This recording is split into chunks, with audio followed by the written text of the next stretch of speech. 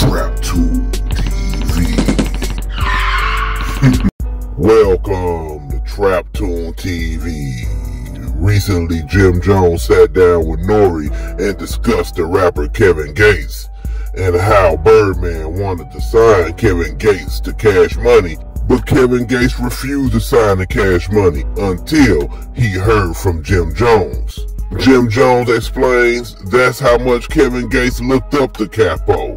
He had so much respect for Jim that he just had to link up with him before signing a deal with Cash Money and Stone. Here's what Jim Jones, aka Capo, had to say about it. Um, Cash Money, I think called, I was Taz or one of them called me like, yo, uh, Birdman trying to sign this artist. His name is Kevin Gates. He just came home from jail. It's the biggest thing going. And Birdman trying to sign him, but we got one problem. He's not going to sign the Birdman unless he meets Jim Jones. I was like, what? They was like, yeah, man, he in the city right now. Can we bring him to you? Because Birdman needs to sign his artist. I'm like, yeah, tell him pull up. Kevin Gates pull up. He still had on the khakis, still looking like he was fresh out of jail. Got it in. I just felt his energy. Like you, you, you knew he was one of us. Like he came from the same places we came from and things like that. We sat in there, did like five records that night, and after that, Cash Money got to do business with him. Wow. Damn. So that mean it has to be true, right? Nah, not quite. Kevin Gates actually never signed the cash money. In fact, it was Birdman himself who taught Kevin Gates to get it out the mud. Birdman shared with Kevin Gates that it took him 20 years at that time to build the cash money brand. And this is something you just won't get overnight and it's not handed to you.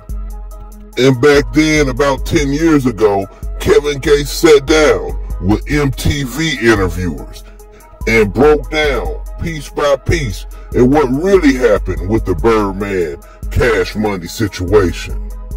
Here's what Gates had to say. Kevin Gates says, I'm around Birdman and it's like I got the world in my hands. One song, one look, and I'm in the paint forever. And while most up and coming rappers would look at Baby and see an opportunity, Gates saw something different. Gates claimed he wanted to get it out the mud, just like Birdman did, so no deal. So what do y'all think about this? Is Jim Jones' story valid, or is Capo capping? TrapToon TV.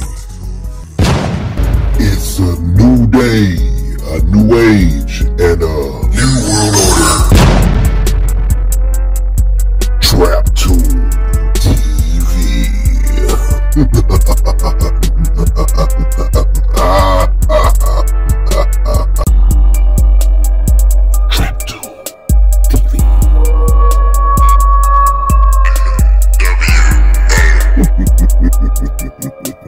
and make sure you hit that damn like button. This is the hottest content on YouTube.